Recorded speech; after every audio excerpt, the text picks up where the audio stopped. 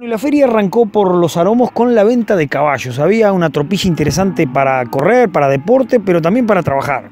La verdad que sí, una muy linda feria, este, el escritorio Leonardo Silvera y compañía, que la verdad que muy buena feria, el cuarto remate y, la verdad que hoy hubo de todo, Ramiro. Hoy arrancamos con, con 120 caballos generales, la verdad que muy ágil la venta, luego continuamos con los lanares, de ahí nos vinimos a los toros y luego feria en general, pero creo que, arrancó muy bien la cosa. ¿Qué valían, por ejemplo, los caballos de trabajo o los caballos para estancia? Y los caballos de trabajo andaban en el eje de, se pagaron algunos 520 dólares, Ramiro. Hubieron de todo, hay caballos mansos, habían caballos que no estaban domados, otros que estaban mansos de abajo, pero no se habían subido. Hubieron de 400, 450, 470, 500, 550 en un caballo manso. Este, hubo, hubo, hubo de todo, como te digo, 120 caballos, pero lo importante que, que no quedó un caballo sin vender. Este, creo que unos muy lindos precios y el máximo fue 500 y algo, aunque habían pretensiones, recuerdo una yegua mestiza muy linda que era muy arriba, no sé si se vendió al final por menos. Esa yegua se vendió por menos, sí, el hombre pretendía 600 dólares, hubo una oferta de 510, 520 le arrancamos y se pagó 562 dólares. Este, una yegua linda, pero creo que está dentro de, dentro de lo que uno ve en la feria, está, estamos dentro de los precios razonables. Y después para raíz, los más cotizados, ¿cuánto valían? ¿El mudo compró el más caro? El mudo Sabella compró un caballo muy lindo, muy linda raza. La verdad que todos los caballos para deporte, con la mayoría de los caballos ya tenían oferta, ya habían estado revisados, están desde hoy temprano en el local. Este, el caballo del mudo este, se vendió en 175 dólares la cuota. O 185. O 185, si no fue 175, 185, pero... Fue el más caro, ¿no? Fue el más caro. Después se arrancaban en el eje de los 100 dólares y ahí se iban a 110, 115, 120, 100 dólares, pero lo importante es que no quedó un caballo sin vender. ¿Ese del mudo que tenía? ¿La sangre de Lográn?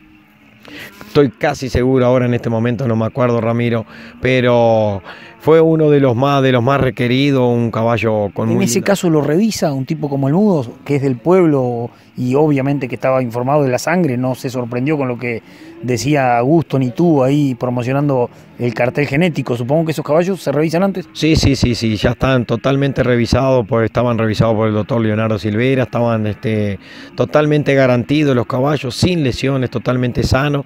Y bueno, ya estaban saliendo en la página, mucha gente ya los estaba viendo, ya estaba Y hoy de mañana temprano el que realmente estaba interesado venía y lo revisaba y lo miraba de arriba abajo. Y bueno, cuando cuando, entraron a pista, ya prácticamente, por eso te digo, la mayoría de los caballos ya tenían este, la, oferta. Para... ¿Quién se lo picaba al, al mudo? No, no, hubieron varios, hubieron varios piques, pero la mayoría gente de raíz, andaban, andaba gente de Sarandí y la verdad que nos acompañó gente de, de, muchísimos lugares, gente de Zapicán, de acá de La Rayán, de, de Cerro Colorado.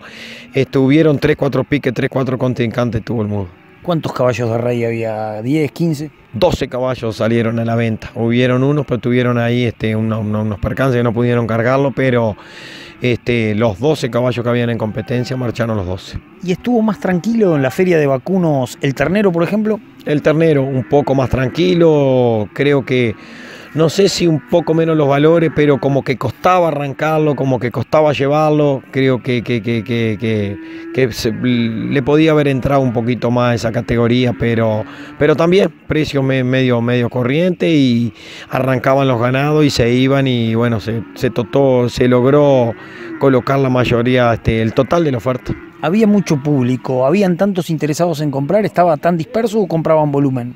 Había mucho público, la verdad que había para todo, porque hubo un lote de 98 terneros que eso entraron, entraron en, iban a entrar en dos tandas de 50 y después entraron los 48 arriba. Hubo una oferta por los 98 y así como hubo esa oferta de 98, teníamos este lotecito de 3, 4, 5. La esos terneros, por ejemplo, los picaron entre varios porque los compró por teléfono uno. Los compró por teléfono, viste que salió televisado, este, estaba en la, en la página de Leonardo Silvera. La verdad que los dos piques que habían eran este, de la televisión este, que la verdad que, es muy, muy, muy, muy, muy buena esa propuesta. Este, hubieron dos en la pista que fueron los que lo arrancaron, este, pero la verdad que muy lindo.